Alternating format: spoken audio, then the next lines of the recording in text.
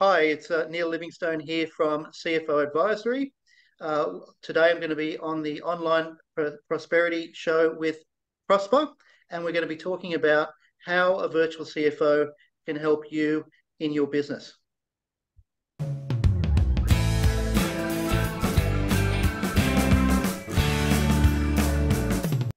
Welcome to yet another exciting episode of the Online Prosperity Show. And today I've brought you the virtual CE, CFO himself, Neil. Neil, how are you doing, my man? I'm doing really uh, well, Prosper. How are you?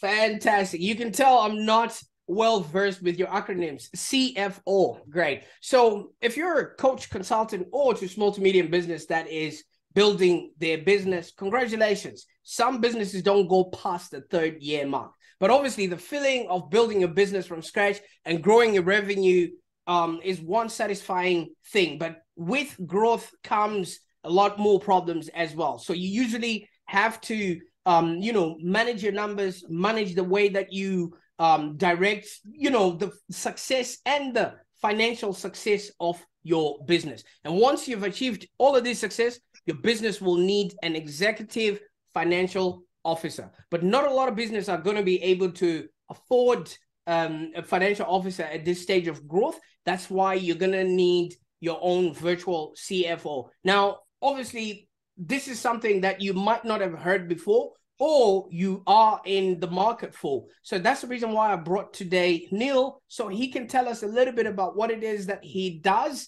and how he can actually um, be of help to your business. So let's just jump in and find out. Now, Neil, I've butched your your your title, and I've actually even butched the actual introduction. It tells you something. I might not be well versed with what a virtual CFO actually does, and I don't think I'm the only one. Tell us a little bit about what what that entails and how you actually got started.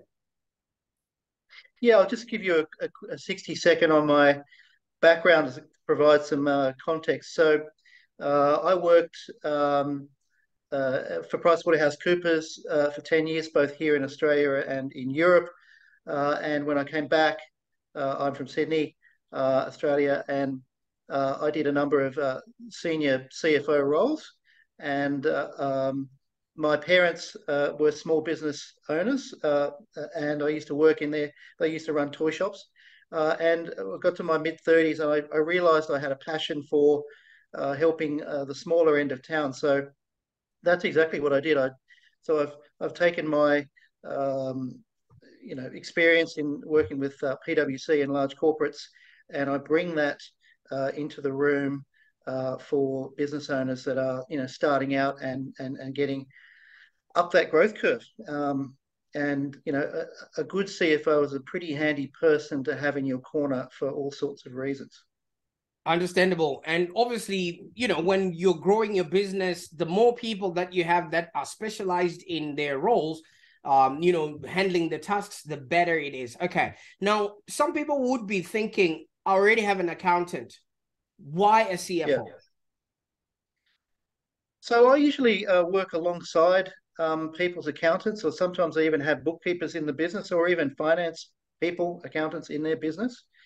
Um, but typically, they're not uh, strategic, so they don't help the owner with uh, getting clear around what their plan is and what the priorities are, and also they can't really help them solve complex problems. Um, let me give you a couple of examples. You know, there are always things coming up in any uh, growing business. You might have a, uh, a negotiation that you need to uh, help with uh, with a supplier or a customer or even a member of staff. Uh, you might need some financing. You you got some a, cash crunch happening, or you need help with your collections. As I could go on and on and on, but um, typically the the accountants that are, are doing your tax or you know you're you're you're sitting in your business don't have that um, gravitas uh, that can you can have a conversation with and at the end of it you're super clear uh, what what the solution is and um, also that person can uh, in many cases help you uh, you know drive drive an outcome Fantastic. So while I was waiting to talk to you, I just wanted to see, you know, the type of person I'll be talking to. And it tells me an in-house CFO can range between 350,000 to about $450,000 in yes. um, you know, in remuneration. Now, when it comes to a small to medium business, some some of that can actually be the total revenue that a small business is yeah. actually um, you know, um, receiving. How does a virtual CFO then, um, you know, translate in terms of better return of investment? Yeah, well, obviously, a virtual CFO isn't in your business every day or, or full time, so they really cost a fraction of that. You know, um, normally starts anywhere from two thousand a month. Uh, depends how much, uh, how big you are, and how much time you need. Uh, but yeah, that's that's kind of the starting point. And you know, when I work with a, a client, I will typically go in there once a fortnight for um, two or three hours. But I'm also talking to the business owner and emailing and texting them and their staff and any other contacts that that that, that needs needs uh, I need to communicate with pretty much every day.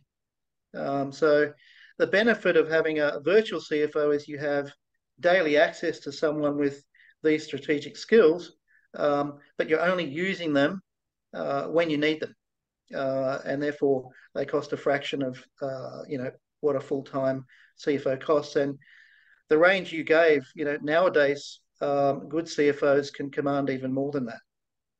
Wow, I'm in the wrong business. Then obviously I'm gonna have to see what I can do to actually enhance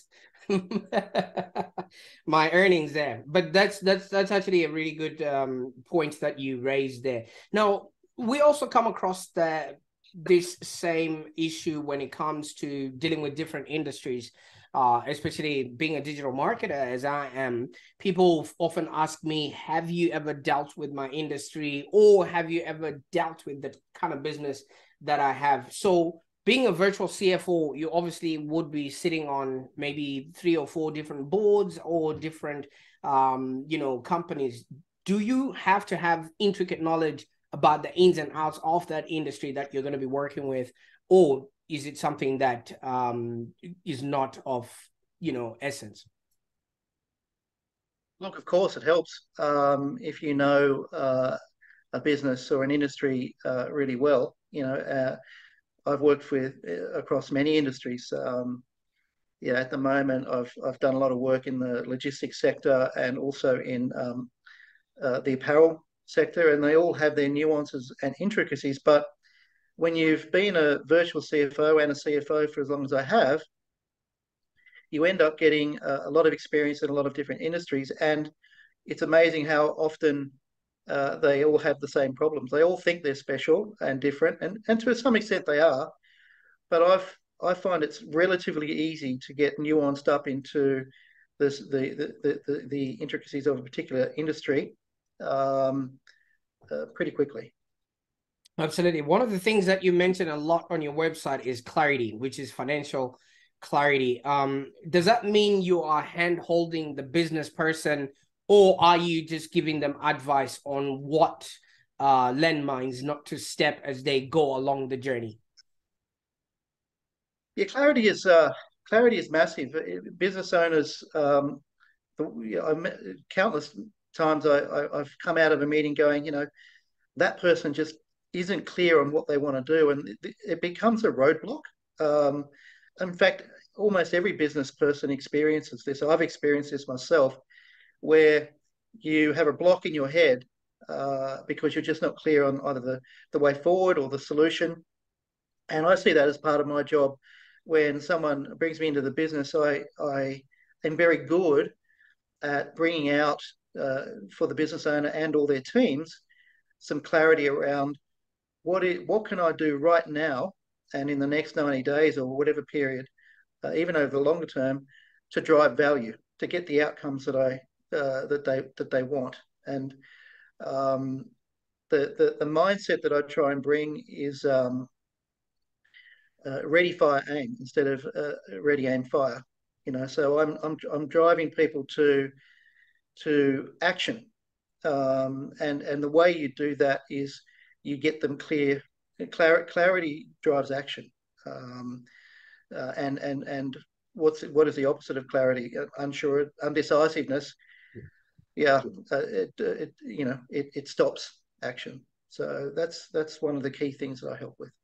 Absolutely, because if you can see clearly where you're going, obviously the um, virtual CFO will be the person that helps you see around the bends, and you'll be able to actually grow your business into something that's profitable and enjoyable. Now, there's always um, whenever money is involved, okay, there's things like um, the cash flow management, the budgeting, the forecasting, um, and everything else to do with the sort of day to day and the future running of the business. So, where would you start and end, especially when you're working with um, a business?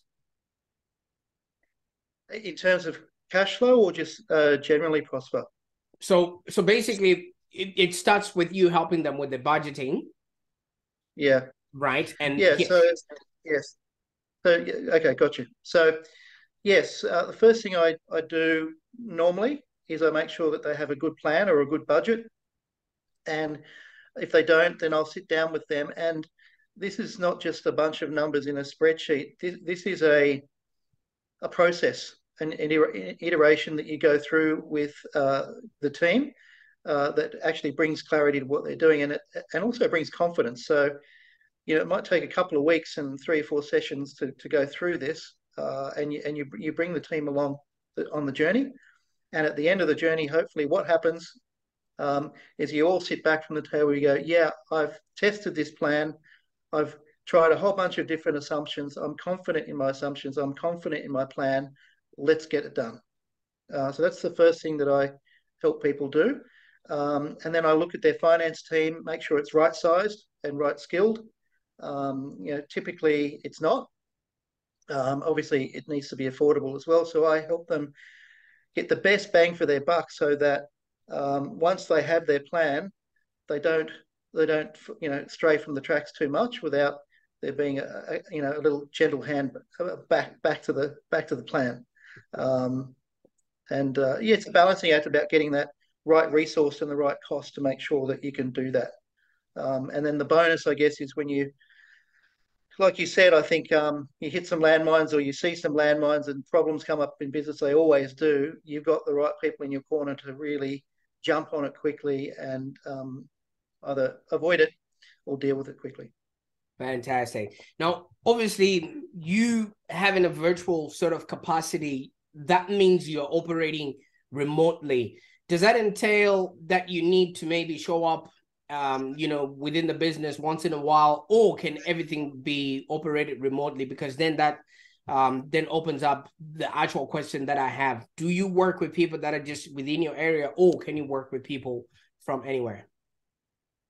No, it can be completely remote. Um, you know, I've got people that I work with, you know, in America and in Europe and other parts of Australia. I'm in Sydney, um, so it, it, can be completely nowadays you know, we've all been through COVID. We know that life does go on without face to face contact. We're on Zoom right now, and there's plenty of technologies uh, that um, you know uh, you can deploy to, to do this uh, remotely. Having said that, if they're in Sydney, I would go and see them face to face if I had that choice. Um, yeah, for sure.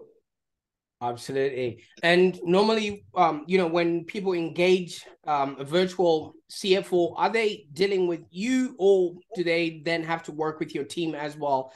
Just, you know, making people um, get aware of what it looks like to start engaging with a virtual CFO? There are two of us. Um, so they'll be dealing either with me or my uh, partner, um, an Irish, an Irish guy. Um, very very friendly guy and very very experienced guy. So you know they they, they you're getting a very very experienced CFO.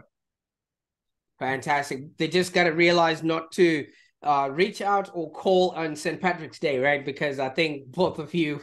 well, I'm I'm uh, I'm from Scott. I'm from Scottish uh, blood, and yeah, David's David's Irish. So yeah, we we enjoy a a Guinness together. That's for sure.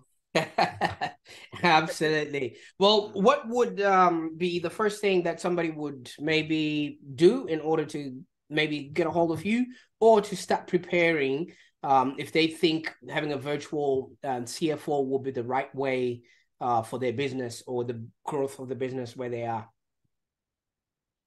Yeah, so I find that um, people kind of know when they when they hear what a virtual CFO is, they they, they pretty quickly know whether they need one and uh, can benefit from one.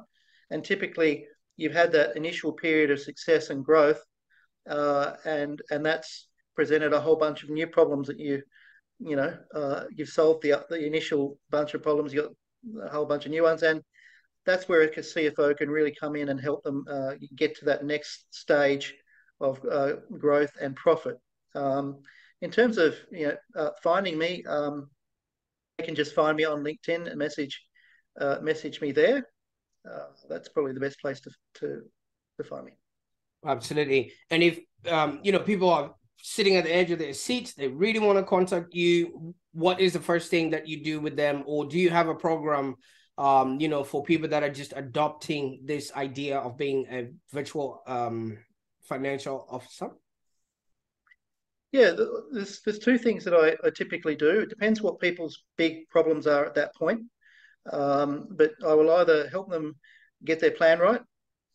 But if they've got their team, if their team's not right, uh, which is also a very common problem when you get to that second stage of success, uh, I focus on helping them build a team around them. You know, uh, you know this, Prosper, but you know, I, there is no one in the history of business that has attained a true wealth without having a solid team around them. You know, so uh, if that's the number one problem, then that's also uh, what I focus on, and I've got a 90 day program that I put um, business owners through at, at the end of which they will have a good team around them.